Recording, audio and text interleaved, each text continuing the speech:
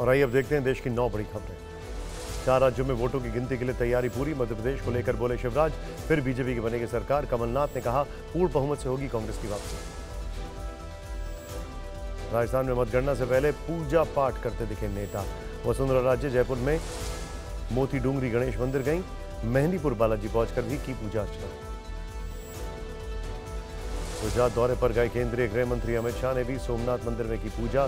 गिर सोमनाथ ज़िले में दिव्यांग दिव्यांग दिव्यकांत नाना वती की याद में आयोजित कार्यक्रम में हुए शामिल।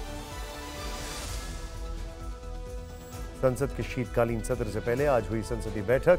बैठक में सत्र के एजेंडे पर हुई चर्चा। प्रहलाद जोशी ने कहा, हम चर्चा के लिए तैयार। चार दिसंबर से शुरू हो रहा है संसद का शीतकालीन सत्र। अयोध्या में श्रीराम एयरपोर्ट तैयार। सीएम योगी ने लिया जायजा। साथ में उड्डयन मंत्री सिंधिया भी रहे मौजूद। टर्मिनल का डिज़ाइन राम मंदिर जैसा। नाइट लैंडिंग की सुविधा 22 जनवरी से पहले ही उड़ाने शुरू होंगी। जयपुर एयरपोर्ट पर टला बड़ा हादसा। वायुसेना का विमान पार्क करते समय पोल्ट से टकराया। विमान को नहीं हुआ कोई बड़ा नुकसान।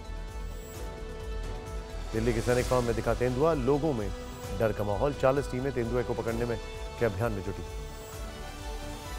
मतगणना से एक दिन पहले छत्तीसगढ़ के दंतेवाड़ा में नक्सलियों ने किया आईडी ब्लास्ट। सीआरपीएफ के दो जवान और एक मीडियाकर्मी घायल। जम्मू कश्मीर के सोनमर्ग में फिर हुई बर्फबारी। बांदीपुरा में बीआरओ की टीम सड़कों से बर्फ़ हटाने में जुटी।